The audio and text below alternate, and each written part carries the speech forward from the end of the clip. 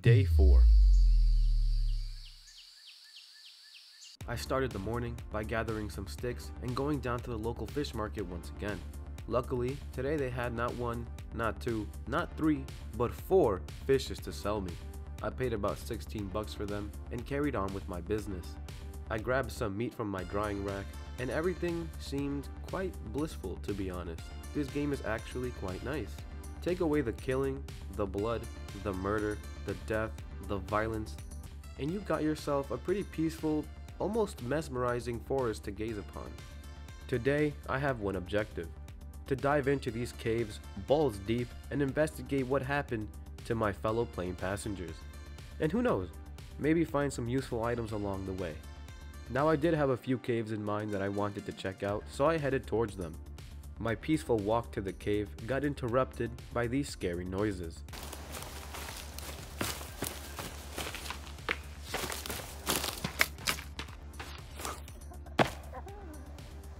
Some yellow liquid dripped down my pants, so I decided to run and ruin what I thought was going to be a very chill day. Once inside of a cave, I stumbled upon a birthday party. I don't know what happened to the guest, but the decorations were still hanging as well as the pinata. I hit it a few times and it dropped some money. I don't know who owns this cave, but they must be filthy rich. I came across a few of the tenants living here, and uh, they weren't so happy to see me. And I mean, I get it, right? I'm a random handsome young Chad who's trespassing on their property. Totally understandable. But there is no reason they should get so aggressive with me. You know, I'm not the kind of guy that goes ahead and judges people. If you're happy, you're happy. But these guys, I mean, just look at them. It's a good thing that my rock never fails when it comes to a same day delivery ass whooping. Smash, smash, smash. Now they have all departed into the afterlife. I set the grill on high and tossed them onto it to get this cremation ceremony going. Not really sure what fire I was using, but it made everything but the bones non-existent. With that idea now out of the way, in order to honor their lives, I wore their bones as armor. I came across this little hole filled with water that was tempting me to jump in. Even though I wanted to see where it led to, I wasn't willing to risk my life for it. Drowning inside of a dark empty cave, surrounded by blood ass and tits, is not the way I would like to meet my maker. As of right now, my priority is to find a rebreather in order for me to explore that hole. Dark, wet, and dirty are three words I could use to describe this cave. Saying this cave is confusing would be an understatement. Everything looked the same, my flashlight had less light than my lighter, and this map might as well have been empty since I don't know what the f I'm even looking at. I stumbled upon a drawing that showed who took my son. My son, unbeknownst to me, must have been blind, because I don't remember the man having a giraffe neck and being the size of a tree, but I'll take his word for it. The darkness of this cave was starting to get to me. I felt like I kept walking around in circles and that this cave had a mind of its own. Everywhere I went had a dead end, and every dead end turned into more dead ends. It made no sense. Other than these suitcases and these cases filled with cloth, this cave really didn't have much to offer to me. I kept pulling out my map just so I can fool myself into thinking I knew where I was going, when in reality, I was completely lost. I slid down a rope I found, burning the hair off my balls due to the friction, and came across a secret stash. This room was filled with very, very valuable items. I lied. None of these mattered to me, at least not for this challenge. This room literally couldn't be more useless to me even if it tried.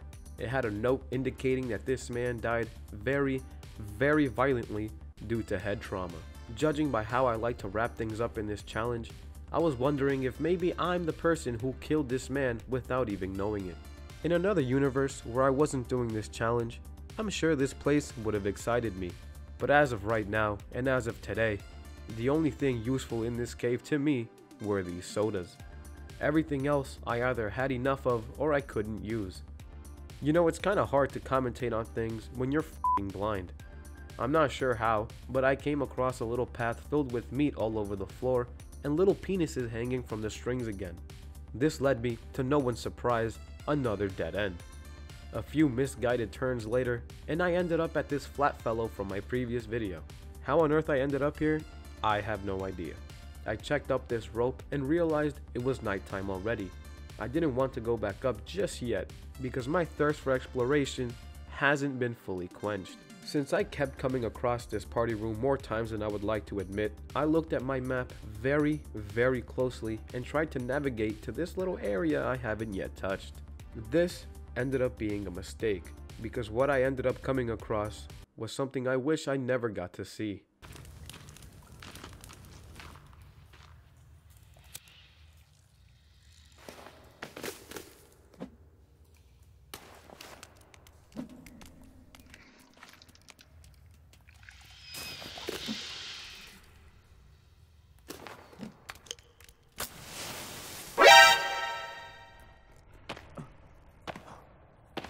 If you couldn't tell already judging by how fast I turned around and ran, I shit my pants.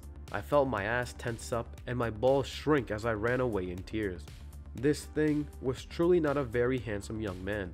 I don't know what it is, I didn't like the hissing it made, I didn't like the way it walked, ran or looked, so I knew I needed to put an end to its miserable life. Holding back the vomit and sucking in the tears I had flowing down from my eyes as I approached this creature was not an easy task.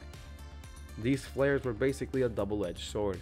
On one hand, yes, I got more light in order to see, but on the other, bigger hand, no, I didn't like what I saw. This is why I ended up sticking to my lighter instead. I managed to get the high ground, noticed I was out of mats, but no worry, since in the end, I hit a trick shot that gave me the victory royale. This thing exploded harder than your stomach after some Taco Bell. And I was relieved that I didn't have to worry about it anymore. F disgusting. I never want to see this thing ever again. I really don't know how else to say this without it sounding bad, so I'm just going to be blunt about it. I killed these babies. Like I picked up my rock, right? And I smashed it into their head. I'm not happy about it, but I mean it is what it is. You're probably wondering what do I get for killing that humanoid spider thing? Well, I'll tell you. Jack shit. Thankfully, there was a rope in this area, so I said, hey, you know what? I think it's safe to say I explored this cave enough, so I dipped. Now, finally seeing the beautiful sight of nature that smelt like shit, I realized that day 4 ended and day 5 had already begun. After that traumatic experience, I found an enemy hideout. I blew a part of it up, stole useless garbage I didn't need from them, and ran off telling myself I'm a badass. But deep Deep down in my soul, I knew that I was a lonely, afraid man stuck on an island with naked men and women trying to kill me. My son probably doesn't love me, and no wonder my wife left me since I can't even take care of our own kid. Thoughts of staying on this island and not rescuing my son flooded my brain, since that would mean I could avoid the child support my wife put on me. But maybe saving my son is the one thing I can do to at least be able to say that I'm a good father and a good man. So I will keep on marching on until my last breath. With this lighter I bought to smoke 12 packs a day, and my rock that I can call my friend, I promise you that I will find you, Timmy, Jimmy, Kimmy. I don't know what your name is, son, but I will find you. I went back to camp to add more glass to my rock, since I really like the feeling of holding shards of glass in my hand. Now that I know that those big walking lumps of meat were a thing, I made sure that I made this rock even stronger. Using my Dora the Explorer skills, I set off on a journey to find a rebreather. While reading my map, I got ambushed by a lovely couple. They were so cute together. I delivered a crushing blow to the back of this guy's back that shattered his spine and rendered him basically dead. For the girl, I made her brush her teeth with my rock. I then set my own rock on fire trying to burn her which in turn set me on fire since I was holding said rock. I think we can all agree that this perfectly embodies how underdeveloped my cognitive skills actually were. Nothing says intimidating like a weapon that does more damage to myself than it does to my enemies. So anyways, after that little skirmish, I headed north since I hadn't really explored much of that area yet. A cool tree, the beach, grass, and my eyes led me to another cave. This was the same cave from before that I left due to lack of resources. I made my way back to the rope that I didn't use last time, and this time went straight down. I found Jesus Christ, and just touching him made my hands burn a little. After what I've done in the past four days, I don't think heaven was even an option for me anymore. A little further ahead, I came across my rebreather. The fella next to it didn't seem to want to use it anymore, so I took it. I was very excited to jump into the water and explore these beautiful underwater caves. But boy, I couldn't have been more wrong. If the 1080p and the darkness didn't already do it, the blur definitely made these underwater sections hard to look at. Bing bong, the babies were now dead and I nearly froze to death if it wasn't for this torch. I kept moving and came across this podium. I'm telling you man, it was so dark I didn't even realize that in front of this alien stand were these two huge metal doors that swung open. Despite this, the cave was still brighter than my future. Inside were a bunch of people praying, at, at least I think they were praying. And a picture of that disgusting garbage I fought earlier. I also found Bibles that I couldn't read, not due to lack of faith, but due to lack of basic literacy skills. I found my way out of this cave through this butthole and ended up on a lake. I killed a deer for no reason whatsoever and ran my little wet ass all the way back home. Instead of sleeping, I still had some adrenaline running through my veins, so I kept moving to see what the world has to offer at night.